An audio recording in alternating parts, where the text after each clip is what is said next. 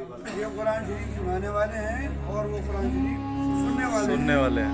हाँ इन दोनों को ये जो है जिनकी फैक्ट्री में सुनाई गई है वो इनाम दे रहे हैं। भाई मुकीत भाई ने इनाम दिया है। इनाम दिया है। एक सुनाने वाले को एक सुनने वाले को। हाँ ये इनाम दिया लुधियाना पंजाब।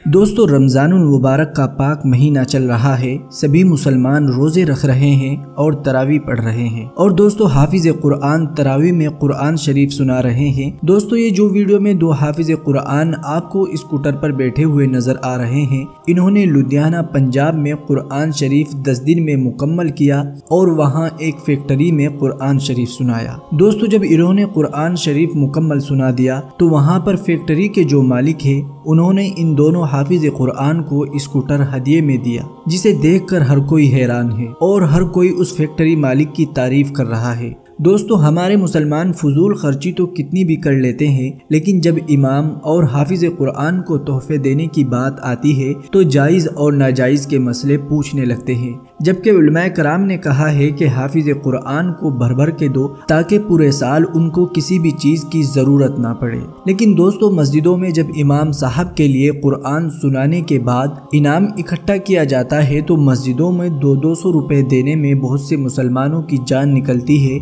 और तरह तरह की बातें बनाते हैं। और वहीं हमारे कुछ मुसलमान भाई ऐसे भी हैं, जो अपनी तरफ़ से अकेले अकेले एक एक लाख से भी ज़्यादा की दो दो स्कूटर बाइक कुरान शरीफ सुनाने वालों को दे देते हैं। अल्लाह तबारक व ताली इनके देने को कबूल फरमाए। आपका इस वीडियो के बारे में क्या कहना है, कमेंट ज़रूर करें।